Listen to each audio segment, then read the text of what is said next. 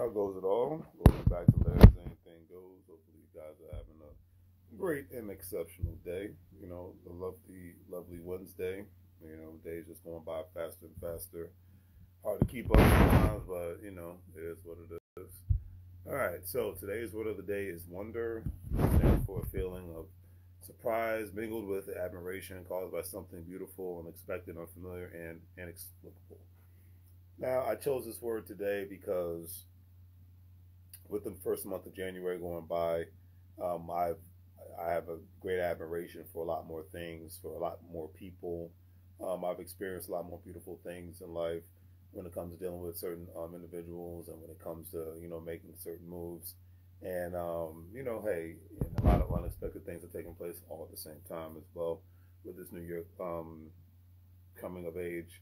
But you know, it's like with the month being over with, we have you know 11 more months to go, and we'll see where this um, year ends. Hopefully, on a positive note for most of us out here that are grinding and trying to get things done. And you know, the, and then obviously there's that set of people that's just like, you know, they're gonna end the year year off unfortunately uh, with no one there in their life because um, they just continuously do the same thing and continuously consume the same information.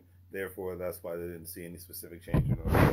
And you know, routine routine can be everything, but a lot of times routine can be a death sentence. And and if I could say the best thing I can take away from the pandemic, that's one thing I learned about the pandemic. So I'm just gonna keep it real on that note. All right, today's quote is very simple. It's by Les Wexner, stated an entrepreneur.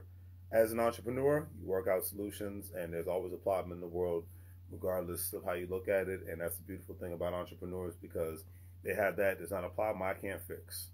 So, and that's that's the beauty of, and heck, you that's why you have so many great parents who are entrepreneurs. They just don't even realize it because they fix the lives of their significant others. They fix the lives of their children on a regular basis. All right. Do the great three free things like, share, and subscribe. Have a great day. I'll be going live on YouTube and Facebook again because I'm going out of town tomorrow. So I want to be able to get my live sessions out of the way and all the good stuff. So as I always say, make money moves or you're going to live like a fool. Take care, family.